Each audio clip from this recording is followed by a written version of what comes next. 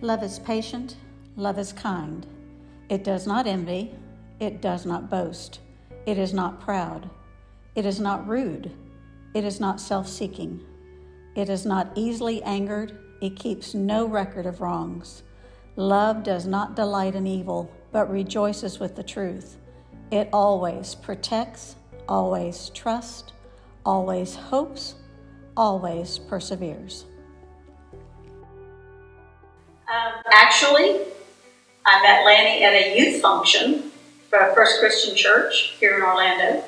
My youth minister was his brother Larry. Lanny came down for a visit. He had just been stationed in Jacksonville and came down to visit his brother. And I was in charge of the food for the, the youth function, which happened to be a party at the beach. We dated off and on. Um, we had a discussion one time where he thought I should be more like a little sister to him, and I told him that wasn't what I had in mind. He was kind.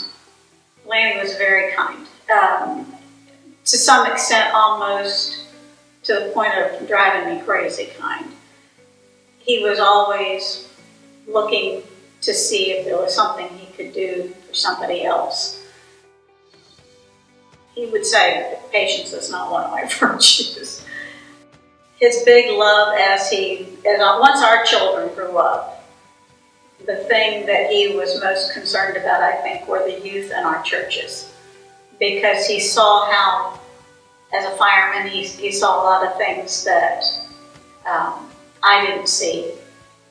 And he saw the struggles that some of these kids have. And he he was always concerned about the future for the kids. Um, I think that's one of the reasons he wanted to be on the board of Family Ministries. I was always afraid he was going to come home and want us to sell everything and go be grandparents at Family Ministries because he really loved what they did for the kids. He and I both had very good experiences going to church camp, and we knew that our time at camp was very beneficial and life changing for both of us. And even though we never went to the same camps, we, we both gathered a lot of it. So I think because of the environment that the kids are growing up in these days, he really wanted them to have that experience, to have that strengthening that you get from being with other Christian kids and the friendships that you make at camp. I think just because we had been blessed in a lot of ways that he wanted to be able to quietly be a blessing to somebody else.